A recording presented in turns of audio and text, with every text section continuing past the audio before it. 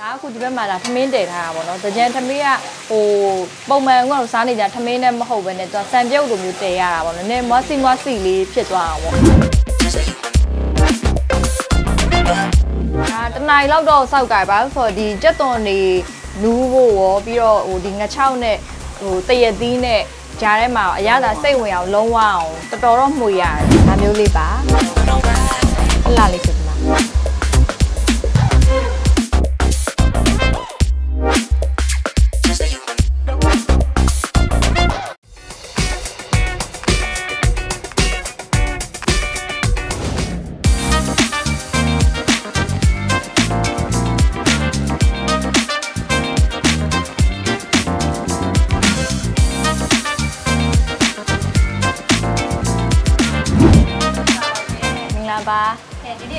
ပြပါလဲအဲ့ဒါလေးပါဒီနေ့ကမွန်ရိုးရအစားအစာတစ်ခုလည်းဖြစ်တဲ့ဟိုငါတို့တကြံထမင်းပေါ့တကြံထမင်းလေးချက်ပြပါပါအခုကဒါငါရဲ့အတော်ဆိုင်ကိုရောက်နေဆိုင်လည်းဖြစ်တယ်အိမ်လည်းဖြစ်တယ်ပေါ့နော်အိမ်ကတော့ဟိုဘက်မှာရှိတယ်ဒါဆိုင်ရောအိမ်ရောဒါချက်ပြုတ်တဲ့နေရာတစ်ခါတည်းတွဲထားတာပေါ့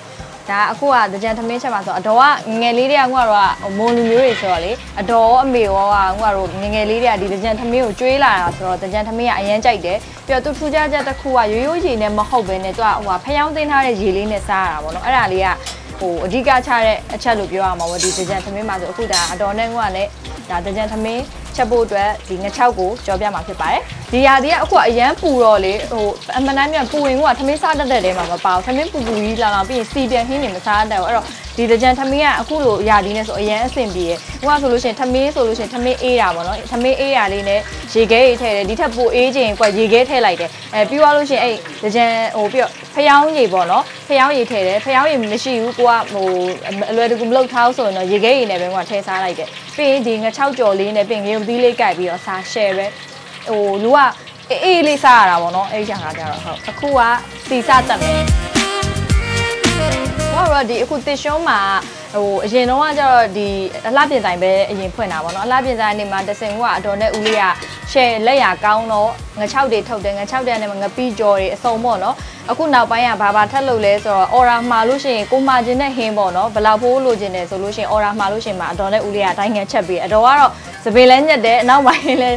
ချက်တယ်နှစ်ခုလောက်တာပေါ့နော်တပြိုင်တည်းမှာပြီးရင်လာတဲ့ဧည့်သည်ကိုလည်းမချက်ထားတဲ့ဟင်းတွေအကုန်ချကျွေးရဟိုထမင်းမှကျွေးရတော့ ဆိုင်မှာစပင်လာလို့ရင်ထမင်းလည်းကောင်းကောင်းစားရတယ်အများကြီးစားရတယ်အခုဆိုဇီးယိုတွေပါရောက်တော့အခုလောလောဆယ်ဇီးယိုကကုံသွားလို့အခုကိုတော်စားဖို့မရှိတော့ဘူးမှရှိမှာတကြံသားလည်းနီးနေတော့ဆိုမွေးနေပြီစီးစက်နေတယ်နဲ့ပြီးတော့ဒီမှာငချောက်ဆိုလို့ရှိရင်ဟိုကတော့ဒါတစ်ရှုံးကငချောက်ပဲပေါ့နော်ငရမ်းကြောက်ဒါဟိုမှဟိုကတော့ပြုတ်ပြီးတော့ထောင်းထားတာပေါ့နော်အဲ့ဒါဟိုမှတရက်သီးလေးတွေဟိုကတော့ပေါက်ထားတယ်အဲ့ဒါလေးနဲ့ချက်ကတာပေါ့ သူကချင်းချင်းလေးမှလည်းစားလို့ကောင်းတယ်ဒီငချောက်ကျက်တော့အနေအားကြတော့သူကချက်ထားပြီးွားလို့ရှိရင်ဟိုအဖက်ကြီးကြီးလေးတွေဖြစ်အောင်လေးစိတ်ပဲစိတ်ထားတာပေါ့ဒါ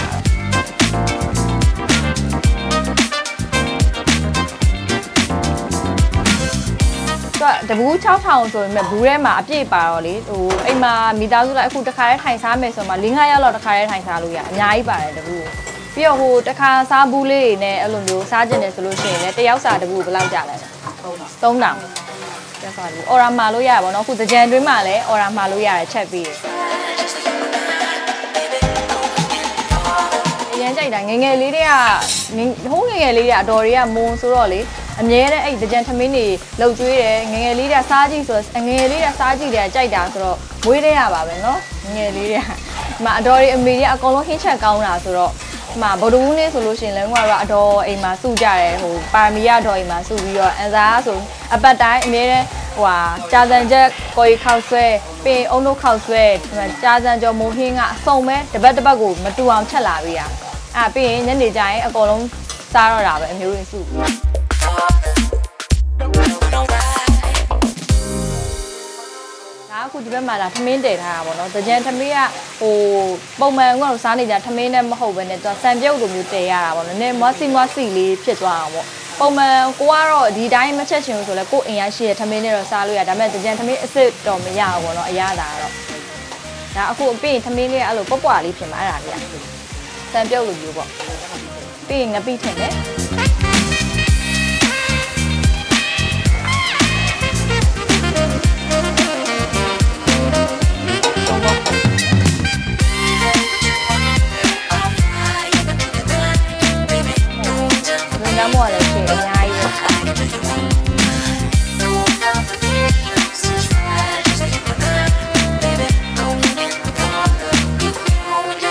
တော့ညောင်းမယ်အိမ်မှာကိုယ့်အကိုချက်ရင်တော့တော်တော်တစ်ချိန်လုံးမှွေနေရဆိုတော့လေဒီတိုင်းလွတ်ထားလို့လည်းမရအောင်ဆိုတော့တစ်ချိန်လုံးတော့မှွေနေရဒါတနိုင်လောက်တော့စောက်ကြပါဆိုတော့ဒီကြက်သွန်တွေ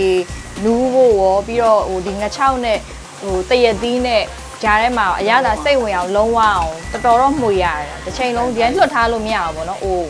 ညာလေးပြောက်သွားတာပေါ့ မှာဒီတရက်ကျက်သွန်ဘက်တွေကပြင်ပျောက်သွားမှာအခုကဒါအလုံးလိုက်ရှိတယ်အလုံးလိုက်ကနေမှသူကပပတလွာတလွာချင်းစီကွာကြတဲ့အထိဒါမှွေရမှာပေါ့အခုဒါချက်နီးလက်သိပြီဆိုတော့တကယ်လို့ကိုဒီတကြံအားလည်းရက်မှာအိမ်မှာဘာလို့စားရမလဲမသိရလူတွေအခုတကြံသမီးဟိုချက်နီးမသိရလူတွေဒီဟာလေးကိုကြည့်ပြီးတော့ချက်ပြီးစားကြည့်ပါလို့အရန်ကောင်းပါတယ်လို့တကယ်လို့ချက်မှာပြင်းနေဆိုရင်ဒီတစ်ရှုံးမှာလာဝယ်လို့ရပါတယ်မလွာကုန်းလန်းကြောင်မြောင်းမှာရှိပါတယ်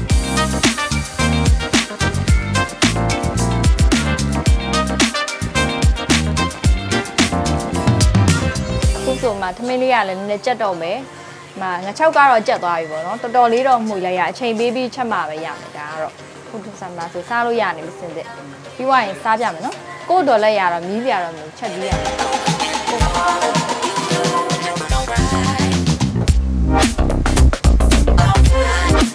အရင်ကောင်းကြိုက်တာကလေဘာကြိုက်လဲဆိုတော့အဲတရက်သီးပါတာကိုချင်းချင်းလေးစားရတာကိုအရင်ကြိုက်တာဒီကအဓိကတရက်သီးကအသက်ပဲ တော်တော်ကောင်းတယ်အရင်စားပြခြင်းနေဖျောင်းရည်ကအဲ့ဒါဘယ်လိုလုပ်လဲပြောပြလိုက်ပါဦးအဲတရားရမီးသွေးမီးသွေးကိုမီးသွေးရဲရဲလေးမှာလေဖျောင်းဖျောင်းနိုင်လေးထည့်ဖျောင်းဖျောင်းလေးချစ်ထည့်လိုက်ချစ်ထည့်ပြီးတော့အုပ်တစ်လုံးအုပ်လိုက်အုပ်ပြီးအမြင်ပြန်ဖွင့်ဖွင့်ပြီးရေလောင်းချရေလောင်းချချစ်ချင်းပြန်ပိတ်ထားမှာဖျောင်းသိင်းကြီးပြီးမှုရတာ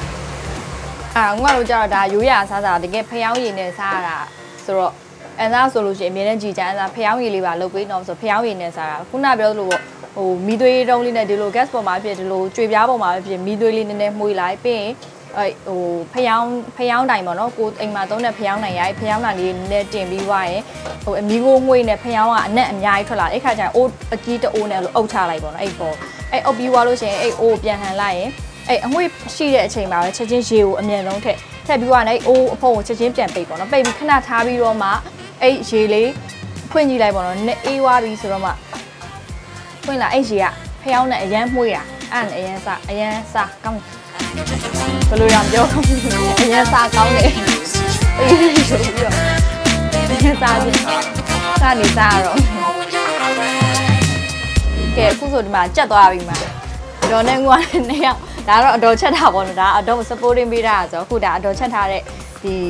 ဒကြံထမင်းပေါ့နော်ငါ6လေး မစားလိုက်ပါအောင်မယ်လိုက်ခဲ့အောင်နော်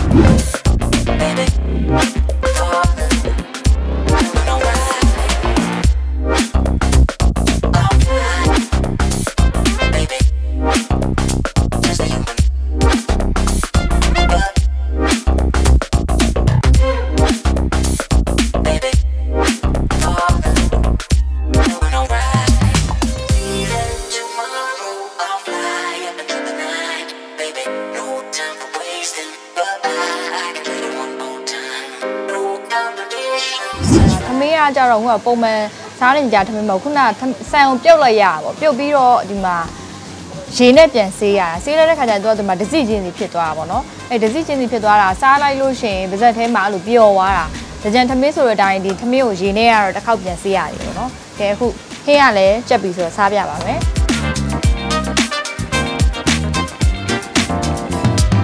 နေထည့်ပါမယ်ပြီးတော့ ဒါကကြောက်ခုနကပြောဖျောင်းတင်းထားတဲ့ရေပေါ့နော်ရိုးရိုးရေမဟုတ်ဘူးပေါ့အဲ့ဒါမှဟိုမော်လမြိုင်ထမင်းဒကြံထမင်းအစစ်စစ်စားတာပေါ့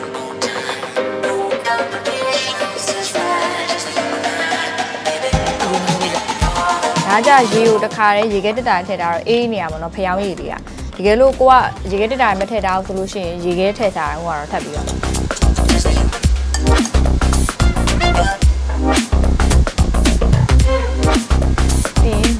ကြော်လေးရတယ်မပါဖြစ်ဒါမျိုးလေးပါလှလာလေးဖြစ်မှာဒ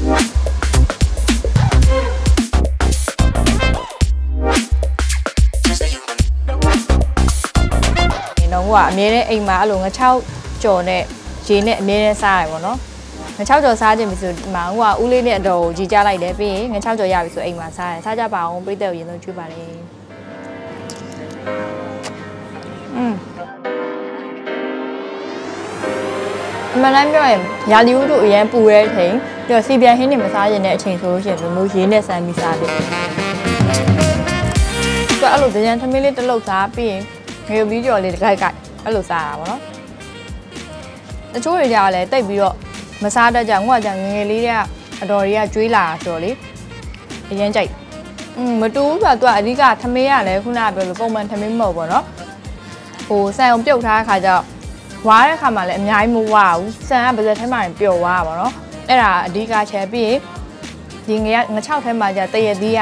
အဓိကရယ်ပြီးရင်ရေကတော့ရိုးရိုးရေမဟုတ်ဘဲနဲ့ဖျောင်းရေပေါ့နော်အဲ့ဒါတော့ကြံသမီးရဲ့အဓိကအချက်လေးပေါ့ဆက်ကြပါဦးနောက်တစ်လုံးဆို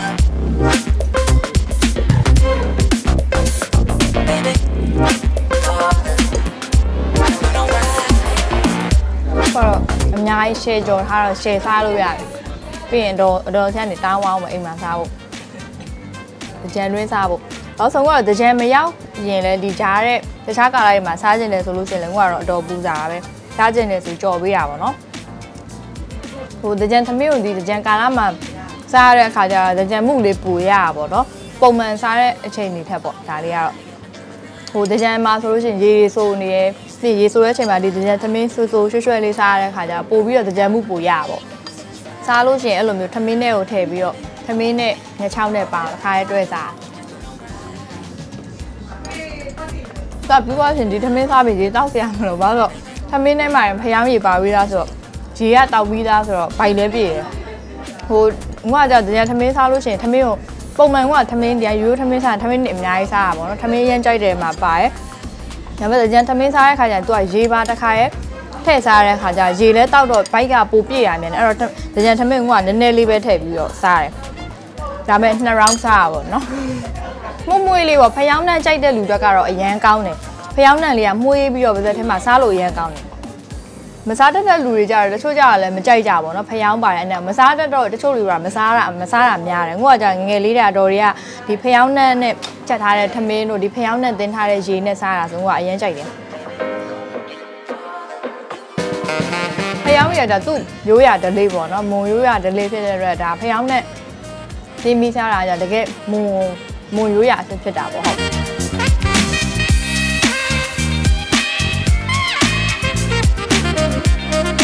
အခုငိုကတော့ဒီတကြံပိတ်ရက်မှာပေါ့နော်တကြံသမင်းစားခြင်းနဲ့ပြီးတော့အိမ်မှာလည်းကိုကချက်ကတာအချိန်မပေးနိုင်ဘူးဟိုချက်ကတာအလုပ်ရှုပ်တယ်လို့ထင်တယ်ဆိုလို့ရှိရင်အခုအသင့်စားဒီအခုတကြံင6ကိုင6ကြော်ပေါ့နော်အဲ တရသီးနဲ့ပေါက်ထားဒီင6ကြော်စားခြင်းတယ်ဆိုလို့ရှိရင်ဒီငိုကတော့အတော်ဆိုင်ဖြစ်တဲ့ဒီတစ်ရှွန်းအလားပြုတ်ပြင်းနဲ့တွဲဖွင့်ထားတာပေါ့နော်အမှတ်39မြင်းကြီးတက်ဒီမှလွာကုန်းလန်းအလဲမှာရှိပါတယ်ဒါလေးတွေကငိုကတော့ကော်ဘူးလေးတွေနဲ့ရောင်းတာပေါ့နော်တဘူး6000နဲ့လာပြီးတော့ဝယ်ယူအားပေးနိုင်ပါတယ်လို့ပြောချင်ပါတယ်အခုဒီရက်ပိုင်းအမှန်တိုင်းပြောရင်ဒီ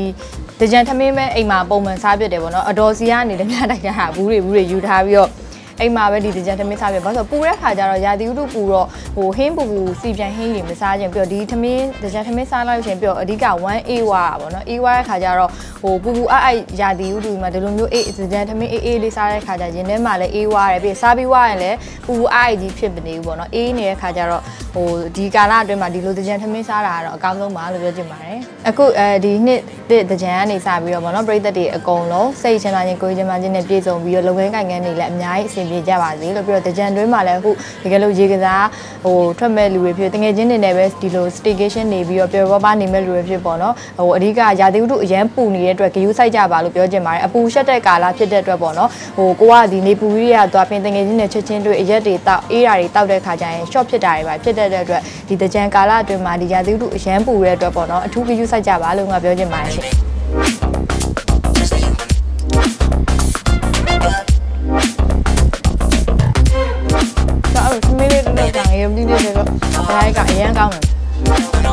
ဒီ program ကြည့်နေလို့အခုဟိုတကြံသမီးမစားဘူးတဲ့လူလည်းရှိသူစားဘူးတဲ့လူလည်းရှိပါတော့တချို့ကလည်းမစားဘူးအခုမူကပြတာကြည့်ပြီးတော့စားကျင်တယ်ဆိုရင်ခုနလည်းချက်ပြထားတဲ့အတွက်အိမ်မှာအစင်သစ်ဟိုချက်စားကြည့်ပါပေါ့နော်မဖြစ်မနေတစ်ခါတော့စားကြည့်ပါအရန်ကောင်းပါတယ်ဒါမွန်ရိုးရာတကြံသမင်းပေါ့နော်ပြီးတော့သမင်းကလည်းအခုဒီမှာ